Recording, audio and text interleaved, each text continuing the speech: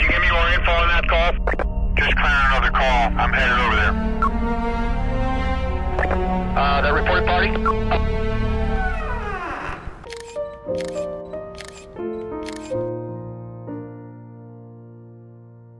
Эта фотография пойдет на аватарку ВКонтакте, это украсит визитную карточку, а вот это станет заглавной в семейном фотоальбоме. Начинающий бизнесмен Толя Кацин теперь может похвастаться снимками от одного из лучших фотографов Красноярска. А как у него это получилось, мы расскажем в одном из лучших телепроектов региона. Знакомьтесь, Александр Купцов взялся исполнить мечту Толи Кацина и приоткрыть ему дверь в мир большого бизнеса. Поэтому за кофе мы обсуждаем нюансы работы над двумя портретами – деловым и фантазийным. Александр, вот нам всем предстоит сейчас очень сложная, напряженная работа. Какие задачи будут? Раздайте всем задачи. Какие задачи будут у Толи и у мамы Альбины? И у папы. И у папы, и у собаки Бобса. На самом деле никаких особых задач нет. Э, У меня э, тут э, главное мне сделать такую обстановку доверия. И поэтому мы сейчас сперва пьем чай, разговариваем о том о сём, шутим. Итак, мы снимаем сейчас два сюжета. Э, Первый – это деловой портрет, и второй – фантазийный портрет. Завоевать доверие в бизнес-сообществе непросто, но и несложно. Правило от Александра. Фотографию не нужно украшать. Ее главная ценность – глаза. Открытые, честные. Работа фотографа всегда начинается с выбора фона. Я уже заранее приготовил. Вот один будет темный, и вот здесь будет светло-серый.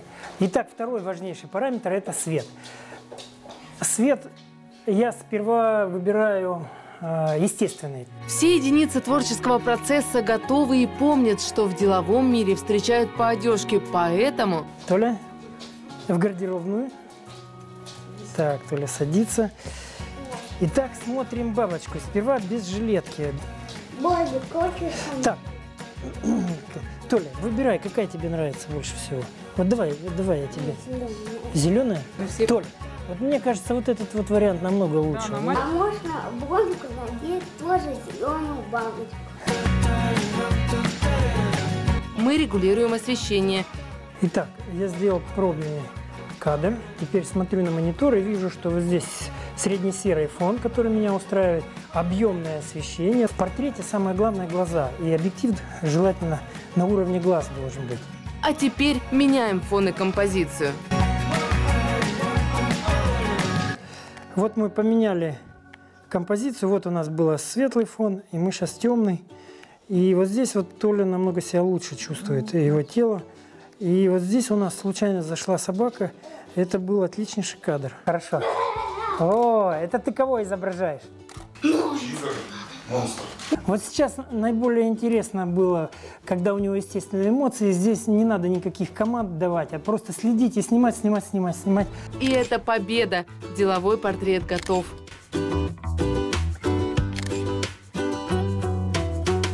Александр, а сейчас каков замысел? Ну, сейчас у нас идет импровизация. Мы, я хочу сделать в таком световом корыте. На студийный пол с подогревом укладываем и Толю, и его друга Бобса. Или почти укладываем. Лежать.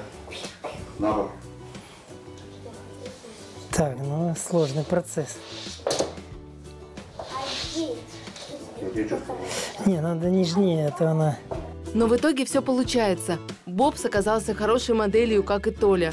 В итоге ребята бегут по лесу.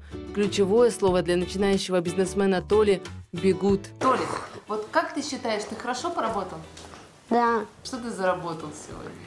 Я заработал отдых, кафе и деньги на планшет, чтобы я установил свой Майнкрафт. И все.